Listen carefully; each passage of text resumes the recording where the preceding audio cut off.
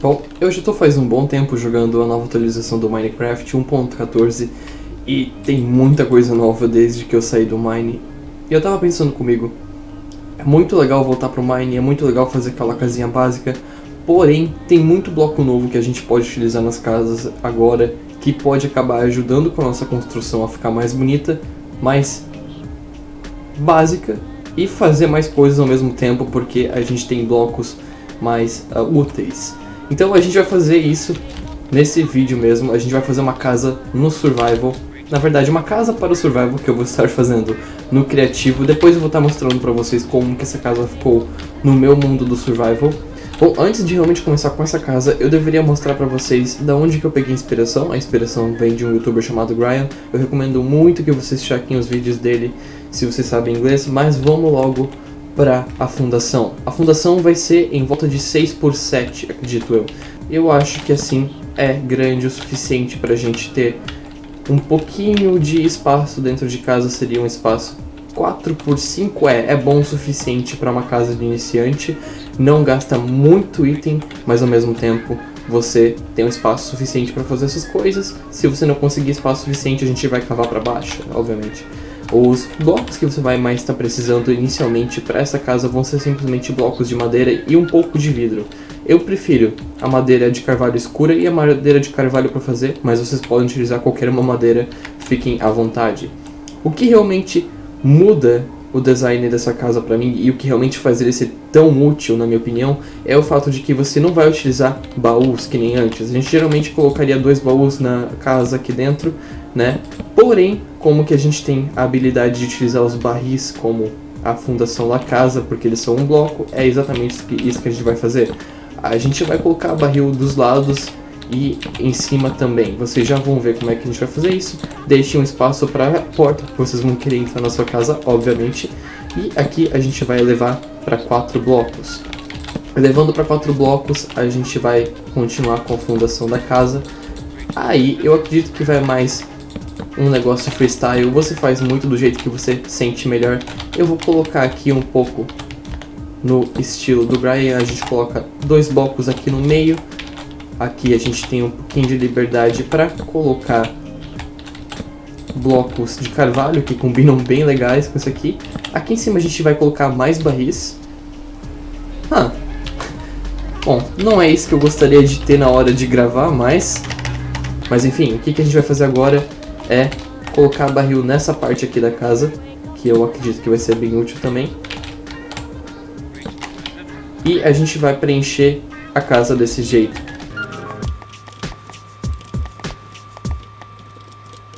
Bom, para esses dois lados aqui da casa, eu gostaria de estar fechando eles assim, normalmente colocando uma vidraça aqui no meio. E aqui eu gostaria de fechar ele completamente. Bom, e talvez aqui em cima seria legal a gente utilizar uma escada de carvalho para fazer esse detalhezinho pequeno e colocar aqui fora a porta de pinheiro. Ok, a gente já tem a fundação dele feito, só falta colocar a vidraça. Se você não consegue pegar vidraça uh, colorida, eu recomendo a vidraça normal. Ela é fácil de fazer, não tem muita dificuldade. E eu acho que eu vou utilizar um azul, marrom, azul, marrom, uh, tanto faz. Vamos pro marrom pra deixar ele combinando com a casa. E eu, como que eu tô usando o shader, a vidraça fica bem uh, fora do normal, mas... É. Bom, a casa tem a sua fundação completa. Porém, contudo, todavia, a gente tem que fazer o telhado. E o telhado é uma coisa bem complicada, na minha opinião. Eu não acho que todo mundo se dá bem com telhados, e como que você quer uma casa de survival para iniciantes, eu gostaria de fazer um telhado simples e um telhado que eu acho legal, que é tronco de pinheiro. Fazer um telhado do jeito que eu vou estar tá fazendo, que é na realidade idêntico ao dos villagers que a gente tem aqui perto, que é aquele ali, acaba gastando um pouco demais de recursos. E se você, obviamente, já gastou muito recurso fazendo os baús, já gastou muito recurso fazendo a casa em si e não quer gastar muita madeira bruta, eu recomendaria fazer uma de escada de pinheiro ou de uma escada de carvalho, talvez uma escada de cor diferente e tentar incrementar slabs junto com ele, fazer alguma coisa diferenciada. Porém, eu vou ficar num design bem simples e fácil para vocês que acabaram de chegar no Mine.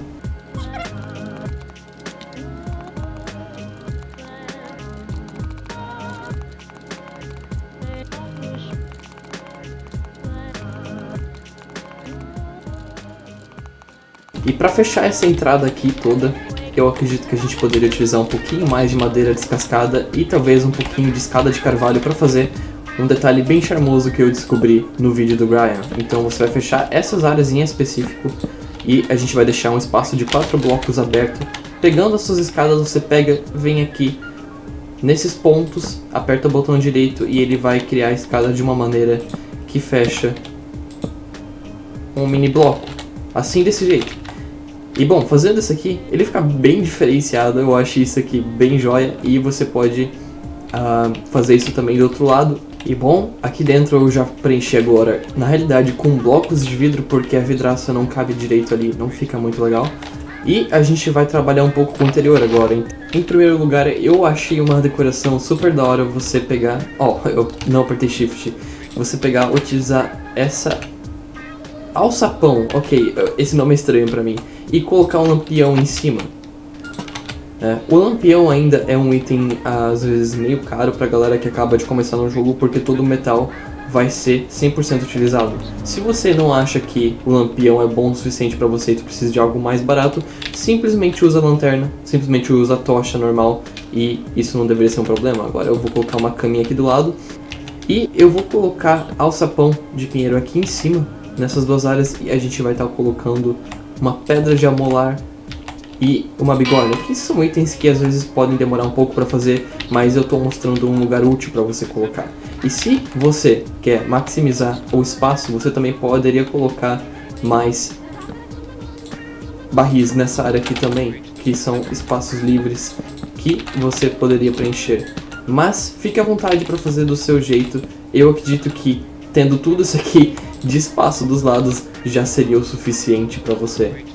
Bom, Aqui embaixo eu vou colocar um alto forno, um defumador e uma fornalha também. E também seria importante uma crafting table, não é mesmo?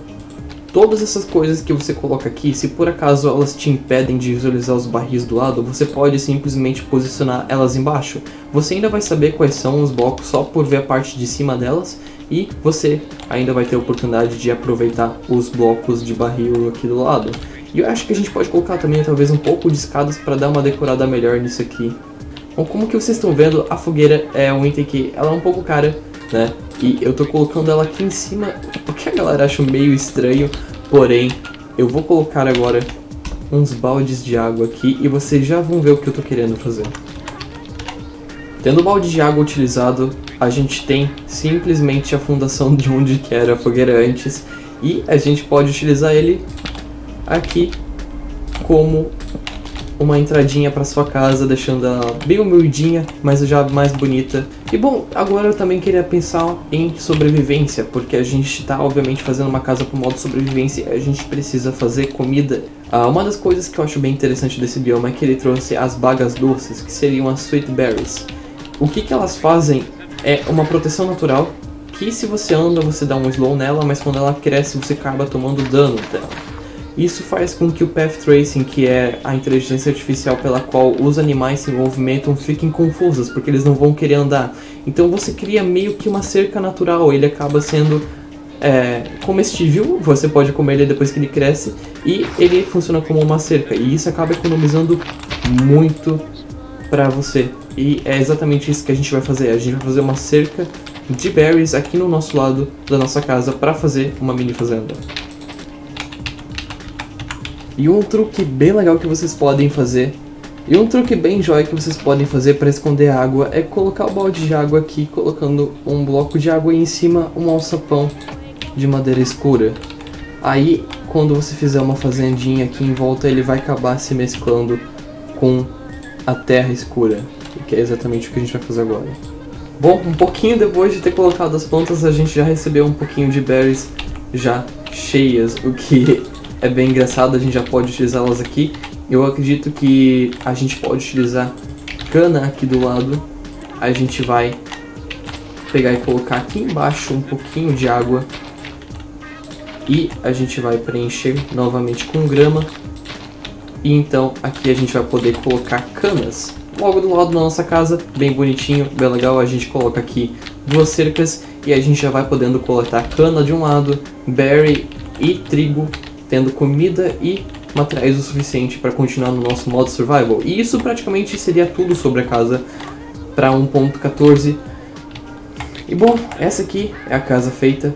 Eu sei, ainda tem muita coisa que dá pra melhorar nela, ainda tem muita coisa que você pode adicionar nela, mas eu acredito que isso aqui, para iniciantes em modo survival, é uma casa muito joia, que adiciona muitas funções do 1.14 e que usa o espaço de uma maneira bem inteligente. Junto com isso, você pode também fazer uma entradinha secreta para mais baús e mais barris, na realidade, para você guardar itens, porque, bom, no modo survival, ter espaço para guardar itens nunca é é demais. Junto com isso eu também já fiz uma área de encantamento, bem legaisinha. Porém, ela já é um pouco mais para quem que tá jogando um bom tempo no jogo. Eu não sei se você vai conseguir colocar isso na sua casa já de início. Mas eu queria ir pro meu mundo survival e mostrar como é que eu fiz essa casa no meu jogo. Então, bora lá. Mas aqui tá a minha casa feita no modo survival. Aqui embaixo eu tenho uma entrada para uma área com fornalhas que é, tá mais ou menos uma área que eu expandi um pouquinho, que eu pretendo futuramente adicionar mais coisas aqui dentro. E um lugarzinho com encantamento e ali na frente mais lugares que eu vou usar para guardar mais coisas. E eu, eu, tô, eu tô construindo, eu tô expandido nessa casinha. Eu acho que é um plano bem legal e que dá pra fazer muita coisa com ela. E essa é a vista de fora. Eu coloquei inclusive uma chaminé e a escadaria que eu utilizo aqui como telhado já é um pouquinho mais complexa, por isso que eu não coloquei nesse vídeo. Mas é basicamente a mesma ideia. Uh, bom, e eu acho que é isso basicamente. Se você tiverem alguma sugestão sobre o que adicionar na casa, deixem nos comentários. E eu acho que é isso. Até mais. Oi, mocinho.